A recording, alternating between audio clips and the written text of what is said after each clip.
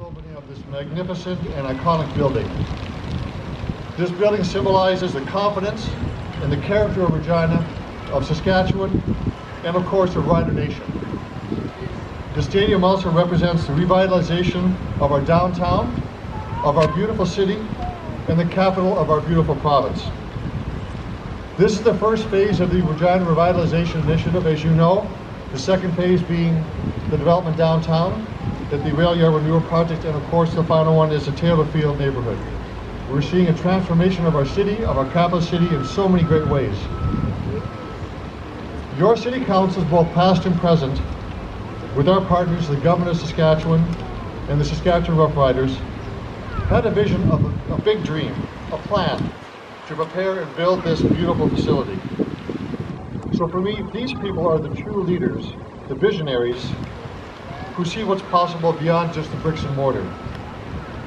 They had a clear picture of what could be and what might be, a bold and bright and confident future. So in many ways, that future is here today.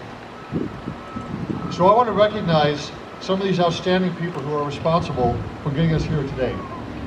I want to start with former Mayor Pat Fiacco, who led the announcement of the RRI and made the stadium possible. Pat, where are you? Standing up, Pat.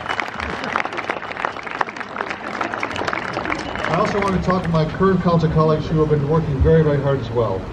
Councillor Barbara Young, Bob Hawkins, Andrew Stevens, Lori Bresciani, John Findura, Joel Murray, Sharon Bryce, Mike O'Donnell, Jerry Flegel, and Jason Messner. They're all here in the front. Stand up, please. Come on, Council, stand up. They're doing lots of work past councils as well have done a lot of work. Louis Browne, Jocelyn Hutchison, Fred Clipsham, Shawn Fraser, Bryon Burnett, Wade Murray, the late Terry Hincks, Chris Szarka. They all worked very, very well. And of course, Creamer Badwall, G. Makowsky, Ken Cheveldayoff, and from the Riders, former chair Roger Grenvold, current board chair Wayne Morsky, past president, or sorry, current president Craig Reynolds, and former uh, president Jim Hopson.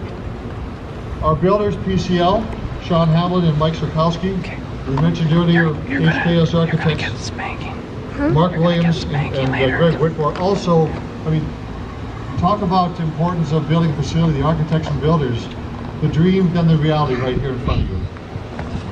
So I also want to talk about our city of Regina staff as well, and I, there are a few people I want to name here as well.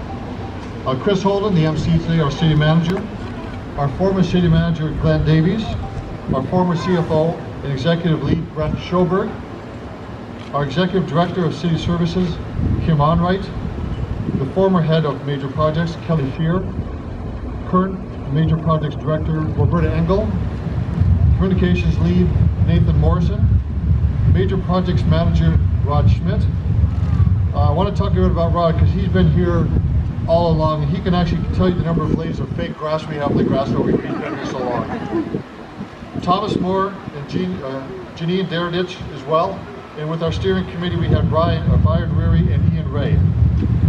Let's give these people a great round of applause for their leadership and vision.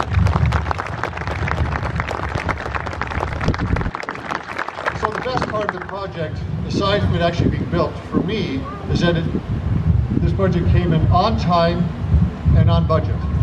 And I never get tired of saying that because it's true.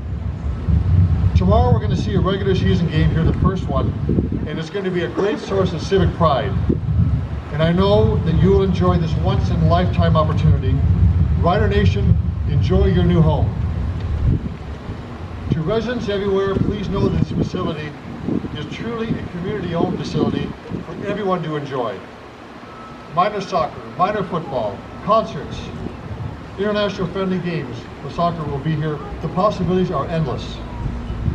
In a few moments, we'll reopen the beautiful Confederation Park that's just behind you here. We'll restore it to its former glory. It's another gathering place for pre-game festivities and other celebrations. So ladies and gentlemen, we should, we should always celebrate our accomplishments. We live in the best city in Canada, the best province in Canada, and the best country in the world.